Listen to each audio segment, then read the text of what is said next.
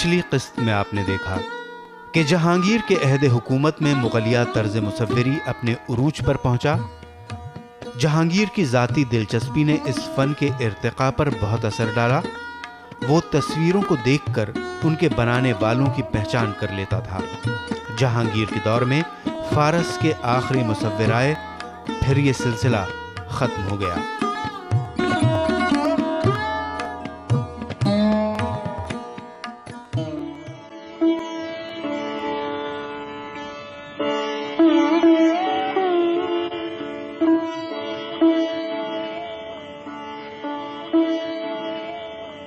जहांगीर और उसके दरबार के पेंटरों के दरमियान जो गहरे राबते थे, वो उसके जानशी शाहजहां से नहीं रहे।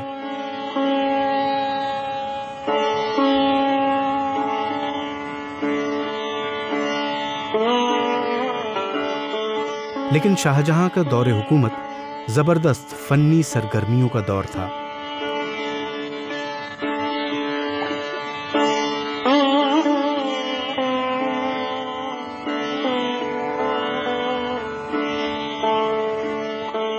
जहांगीर की तरह शाहजहां की सरपरस्ती सिर्फ़ पेंटिंग के फन तक महदूद नहीं थी, बल्कि तमाम फाइन आर्ट्स और अप्लाइड आर्ट्स के लिए थी, जिसकी वजह से तमाम फनून को फलने, फूलने का मौका मिला।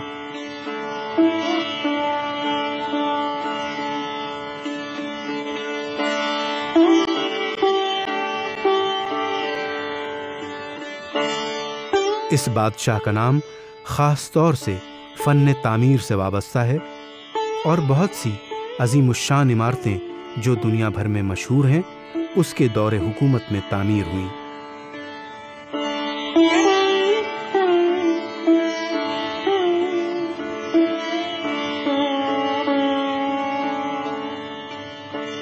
दिल्ली का किला, जिसके बनने के कुछ दिनों तक ही उसकी बादशाहत कायम रही, उसकी शाहाना अजमत की बेहतरीन यादगार है।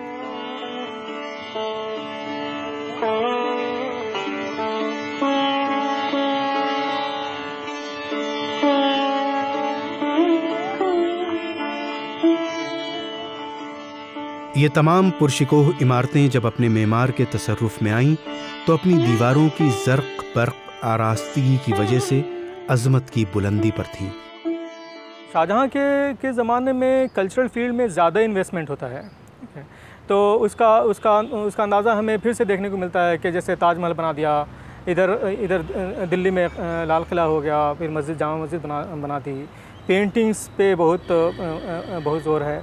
तो ऐसा भी नहीं है कि उसने बहुत बर्बाद किया। कुछ लोग कहते हैं कि अरे, शाहजहाँ ने बहुत मुग़ल ट्रेजरी को बर्बाद किया है। वैसा भी नहीं नहीं है कि जो पैसे जो खर्च किए हैं, शायद जो आर्मी पे जो एनुअल खर्च होगा, मुग़ल आर्मी पे, उसका शायद एक परसेंट भी नहीं रहा होगा। लेकिन, एक एक परसेंट भी नहीं रहा होगा। लेकिन उसके बावजूद भी जो जो कॉन्ट्रीब्यूशन है आर्ट एंड आर्किटेक्चर के फ़ील्ड में ख़ास तौर से शाहजहाँ के दौर में, वो बहुत all over to for people to see तो बिल्डिंग्स में और पेंटिंग्स में। और ये कुछ नया नहीं कि इस तरह से कि बिल्कुल रिवोल्यूशनाइज कर दिया, ऐसा नहीं था। वो वो जो पहले चल रहा था अकबर के ज़माने में, जहांगीर के ज़माने में, उसको उसको आगे बढ़ाया है और और और ज़्यादा ग्रैंडर दिखाया है। आई मीन जैसे ताजमहल को को बना दिया। ये जो यहाँ लाल किला जामा मस्जिद उसके यहाँ ग्रैंडर देखने को ज़्यादा मिलता है। लेकिन ये मुग़ल मुग़ल अप्रोच है टू पॉलिटिक्स ऑल्सो कि अपनी पॉलिटिकल एक्सीलेंस को पावर को डोमिनेशन को दिखाने के लिए उन्होंने इस फ़ील्ड में भी इन्वेस्ट किया है। आर्किटेक्चर के के सहारे पेंटिंग्स के, के, के सहारे कि देख लो कि कितना कितना ग्रैंड यू नो अचीवमेंट्स हैं इनकी।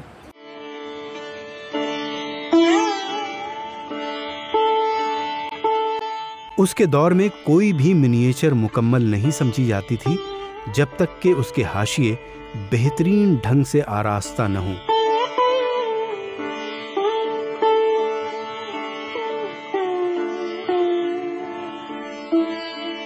उनमें शोख रंग के फूलों, तितलियों और चिड़ियों की तस्वीरें होती थीं।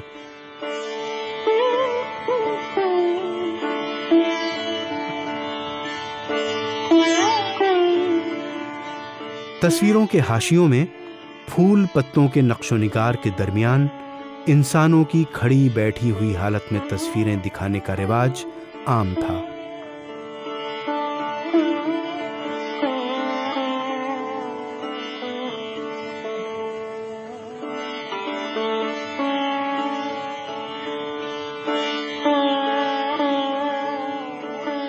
इसी तरह की नक्काशी सबसे पहले जहांगीर के दौर में शुरू हुई।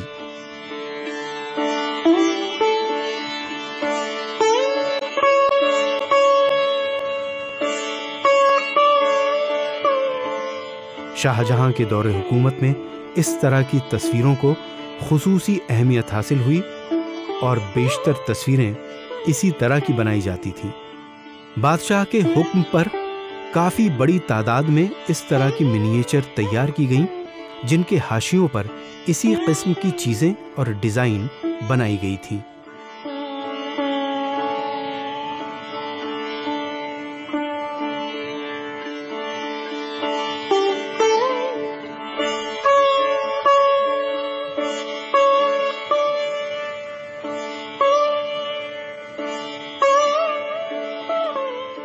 ये वो वक्त था जब ताजमहल बना और मुगल सल्तनत अपने उरूज पर थी।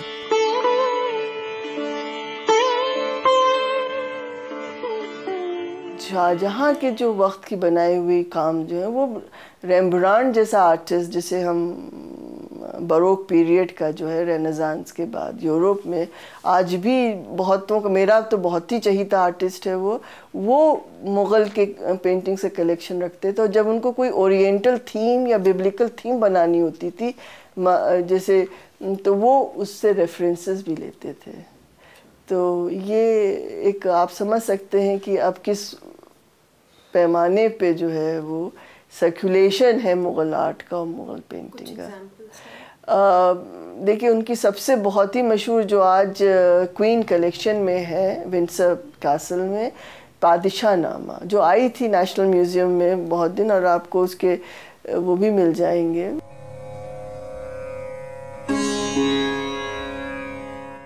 उस वक्त के मिनिएचर आर्ट्स शाही मुगल ख़ानदान के खाकों पर मुश्तमिल होते थे। इसके हिमायती इब्तदाई दिनों से लेकर सत्रहवीं सदी के वस्त तक अकबर के ख्याल के परवरदा कौमी खाकों के एल्बम से मुतासर थे।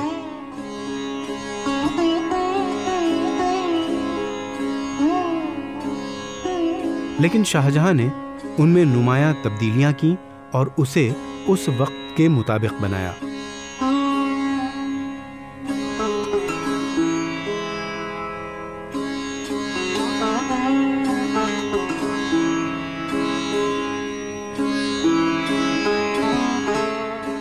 तस्वीरों में तारीख़ी शख्सियतें सिर्फ़ तन्हा ही नहीं, बल्कि इज्तमाही तौर पर भी होती और उनके अहम अहदेदारान हाशिए पर उनके चारों तरफ़ होते।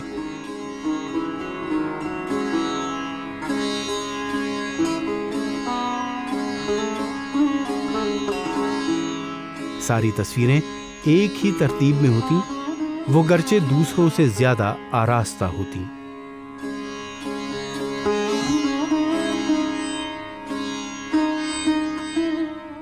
शाहजहाँ तो ज़्यादातर अपनी बिल्डिंग्स में उसका इंटरेस्ट आर्किटेक्चर में था। मगर शाहजहाँ बहुत अच्छा जेमोलॉजिस्ट था। जहांगीर ने अपने जहांगीर नामा में लिखा है कि मैं ये रूबी जो मेरी मदर ने मुझे दी है, वो मैं शाहजहाँ को गिफ्ट कर रहा हूँ, सिर्फ़ इसलिए क्योंकि मैं जानता हूँ कि मेरा बेटा बहुत अच्छा जेमोलॉजिस्ट है। और आप देखो कि उसकी वो जेमोलॉजी की जो टेक्निक है, वो आपको उसके सारे आर्किटेक्चर में दिखेगी। चाहे वो ताज ताज का डेकोरेशन हो, चाहे वो रेड फोर्ट का हो, चाहे किसी का भी हो। रहा जहाँ तक शाहजहाँ का समय। शाहजहाँ के का पहला जो एक लगाव था, वो आर्किटेक्चर से था। और दूसरे नंबर पर उसका जो लगाव था, वो जेम्स वगैरह के सेटिंग पर ऑर्नामेंट्स वगैरह के सेटिंग का बहुत ज़्यादा शौक़ था। ऐसा लोग कहते कि अच्छे से अच्छे ज्वेलर नहीं बता सकता था कि इस, ये इस हीरे की कीमत क्या होना चाहिए या इसकी फाइनेस्ट क्वालिटी क्या होना चाहिए। और जहांगीर, वो शाहजहाँ इस बात को जानता था, बता देता था कि ये हीरा इतनी कीमत का होना चाहिए, या इसमें ये क्वालिटी है और ये क्वालिटी नहीं है। तो शाहजहाँ के लगाव जो थे, दो अलग अलग तरह से थे। और सामने दिखता है, ताजमहल जैसी जगह उसने बनाई, दिल्ली जैसा पूरा का पूरा लाल किला खड़ा कर दिया शाहजहानाबाद तो मिट गया भले ही, लेकिन सारा का सारा जो पुराने स्वरूप मिलते हैं, उसमें एक भव्य पूरा का पूरा नगर बसाया हुआ था, जो अद्भुत था। ऐसा लगता था जिस सपने में से निकल करके आ गया हो, यहाँ जहाँ शाहजहाँ ने किया। तो एक आदमी के पास इससे ज़्यादा क्षमताएँ नहीं हो सकती कि वो दस जगह अपने को बांट सके। उसने चित्रकला में चित्र, चितरे रखे, जो स्टूडियो था, वो बाकायदे वैसी को ऐसा था, उसमें कहीं कोई कमी नहीं हुई, चित्र भी बने। लेकिन उसका ध्यान इनकी तरफ़ नहीं था। उसने जो उसका स्वरूप था, उसका जो चरित्र था, वो भव्यता का था, जो हीरे जवाहरात के साथ खेलने का चरित्र था। इन चीज़ों के साथ ज़्यादा जुड़ाव रहा। और ऐसा कहते हैं कि मुग़ल साम्राज्य में भी सबसे ज़्यादा धनी पीरियड जो है, संपन्न पीरियड शाहजहाँ के समय में ही था। शाहजहाँ के समय मुग़ल आमदनी जितनी थी, उतनी इसके पहले ना अकबर के समय में थी, ना इसके पहले ना जहांगीर के समय में थी, ना बाद में औरंगज़ेब के समय में थी। शाहजहाँ का सबसे ज़्यादा संपन्न पीरियड है। इसलिए उसके चित्रों में जो ख़ास बात मिलती है वो ये है कि भव्यता बहुत है। स्वरूप में कोई फ़र्क नहीं आया है, लेकिन भव्यता बढ़ गई वस्त्र हैं तो उन पर गोल्ड वर्क बहुत ज़्यादा है। ताज है तो ताज बहुत खूबसूरत बना हुआ है। हर चीज़ में भव्यता दिखाई देती, जो स्प्लेंडर है, जो जो राजकीय भव्यता दिखाई देती, वो शाहजहाँ के चित्रों में दिखाई देती है।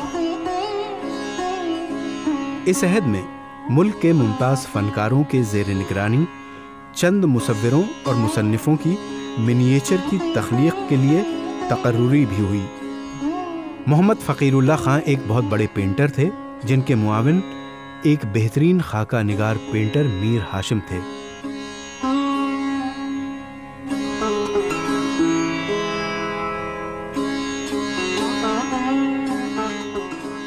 मोहम्मद फ़कीरुल्लाह ख़ान का अहम काम निगरानी करना था और रंगारंग हाशियों के साथ ख़त्ताती और मुसफ़री ख़ास तौर से मीर हाशिम और उसके दूसरे भाइयों ने की थी।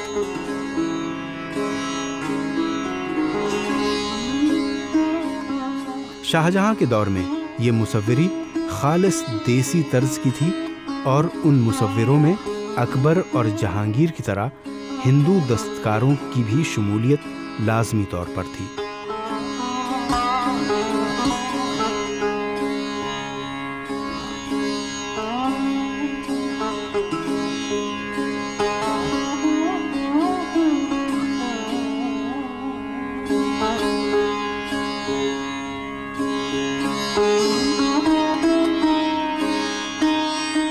जिस तरह दीगर मुग़ल हुक्मरानों के यहाँ मुसफ़िरों की भीड़ जमा रहती थी और उनकी सरपरस्ती पर मुनहसर थी, शाहजहां ने उनमें से चंद माहिरीन को ही जेर मुलाजमत रखा।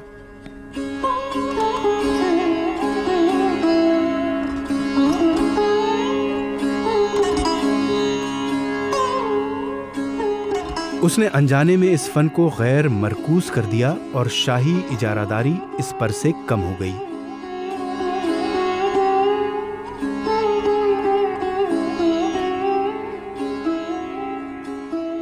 शाहजहाँ थे, वो अपना जो रुतबा है, जो अपना एक पातशाह का जो एक दर्जा है, वो उसको दिखाने में, दर्शाने में बहुत शायद यकीन रखते थे। और क्योंकि वो भी एक एक एक बात आप खुद ही इस बात से सहमत रखती होंगी कि एक एक बात वो एक पॉलिटिकल टूल भी बन जाता है।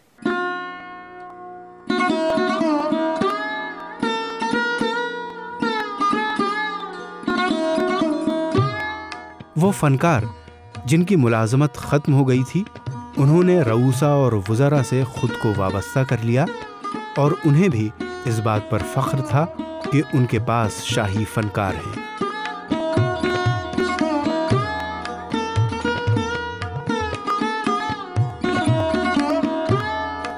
अब ये सिर्फ़ शाही हवेलियों या मौसम गर्मा के घरों और बैठक खानों की सजावट के लिए ही महदूद नहीं रह गए थे।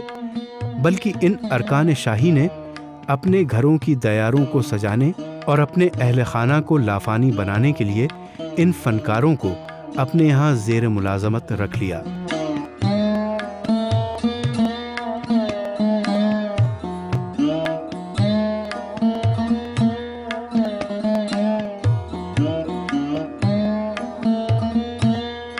इस वक्त पेंटिंग सिर्फ़ मुगल दरबारों तक ही महदूद नहीं रह गई दूसरी सल्तनतें, जैसे दक्कन में बीजापुर की सल्तनत ने भी इन दस्तकारों को अपने महलों की दीवारों और तस्वीरी किताबों को बनाने के लिए रख लिया।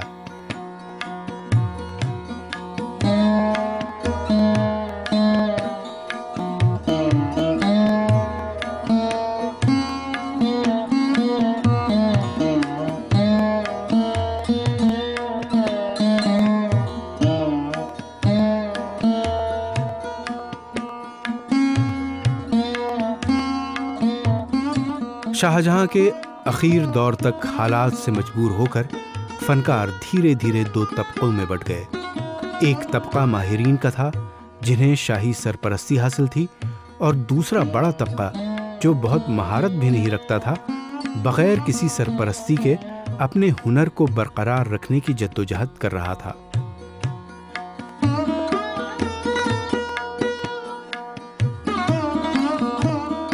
वो दूसरा तबका शुमाली हिंदुस्तान के शहरों में मुंतशिर हो गया और उस पर से शाही तसल्लुत कम हो गया था, इसलिए उनकी तस्वीरों को मकबूलियत हासिल होने लगी।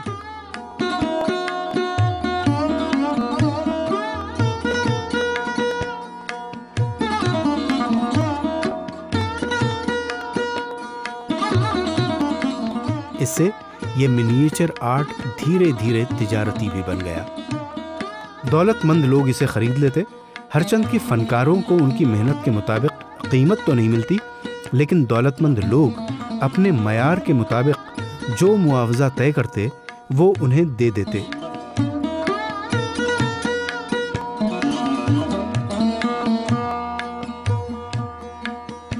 शाहजहाँ के वक्त तक ये एक किस्म से समझ लीजिए आर्टिस्टिक टूल तो था ही, पर हाँ एक जैसे हम लोग शुरू शुरू में पॉलिटिकल और आर्टिस्टिक की बात कर रहे थे तो शाहजहाँ के वक्त में ये लगता है कि हाँ ये इसकी ज़बान अब उस उरूज तक पहुँच गई है कि जहाँ पे ही वो वाकई में बहुत सिस्टमेटिकली ये आ, जो है वो सिर्फ़ आनंद और रस के लिए ही नहीं और बल्कि ये एक जो और फ़लसफ़े के लिए भी नहीं, बल्कि ये एक पॉलिटिकल टूल की तरह भी इस्तेमाल किया जा रहा है। Just like public monuments like public architecture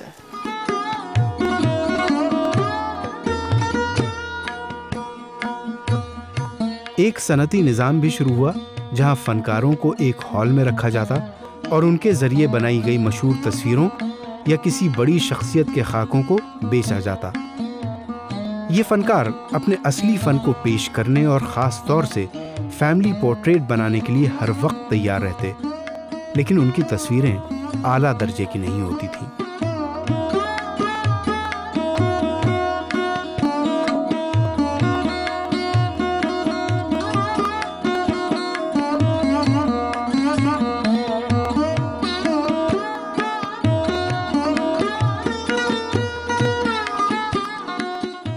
ये आर्ट बज़ाहिर असल से इतनी मुशाबहत रखते थे कि उनके जबता होने का इम्कान न था।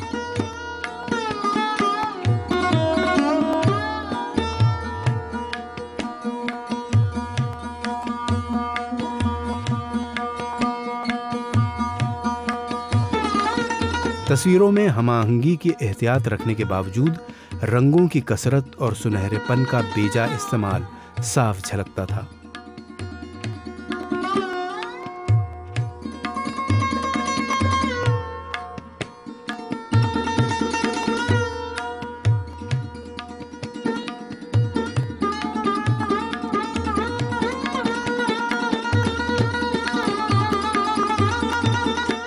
मौजू बहुत खूबसूरत होने के बावजूद अजूबा और गैर फितरी नज़र आता था। टेक्निक और ड्राइंग की क्वालिटी में तो रिवायती तर्ज और हुनरमंदी मलहूज होता, लेकिन रंगों का वाफिर इस्तेमाल और तफसीलात का इजाफा इसे काबिल दीद बनाता।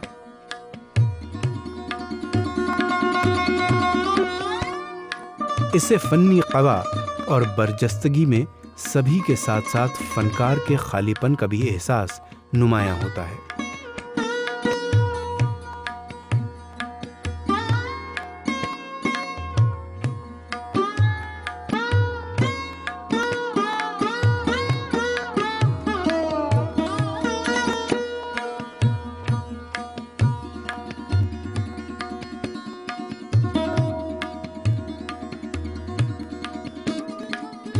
तो इन तीनों का जो अगर पीरियड देखें तो अकबर का सिंपल बड़ा सहज आर्ट का स्वरूप था, जिसमें एलस्ट्रेशन था। अगर जहांगीर का देखें तो जहांगीर में व्यक्तिगत चित्रों की बात रियलिस्टिक तरीके से। यहाँ देखें तो इनके जीवन का ये था कि भव्यता बहुत थी। इन्होंने लक झक जितनी भी हो सकती थी, सारी इमेजेज जो लगती थी और यहाँ तक कि वो बहुत शौक से बनवाते थे। यहाँ कई दिन तक एक पोर्ट्रेट के लिए बैठे और उन्होंने उस पोर्ट्रेट के नीचे अपने हाथ से लिखा है कि इसमें मेरी छवि है, मेरे हिसाब से जैसा मैं हूँ वैसी है। ये लिखा है उसने कि जैसा मैं हूँ वैसी है इसमें। तो इतना सब टाइम उसके पास भी था, वो करता था ये सब, मगर रुचियाँ थोड़ी सी अलग थी। सोलह में शाहजहां अपने तीसरे बेटे औरंगज़ेब के ज़रिए माजूल कर दिए जाते हैं। ये वाक़ अकबर की ताजपोशी के सौ साल बाद सामने आता है।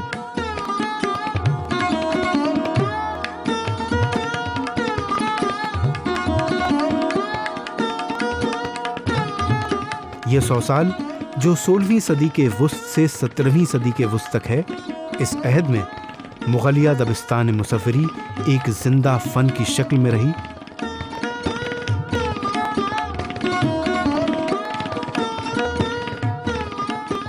आज की किस्त में आपने देखा कि शाहजहां ने फ़न तामीर को ज़्यादा फ़रोग दिया। हालाँकि उसके दौर में भी मुसवरी आला दर्जे की थी और ख़ास तौर से तस्वीरों के हाशियों पर तवज्जो दी जाती थी। शाहजहां ने मुसवरों की तकर्री घटा दी, लिहाजा कई मुसवर शाही दरबार छोड़कर रऊसा और वज़रा के साथ वाबस्ता हो गए।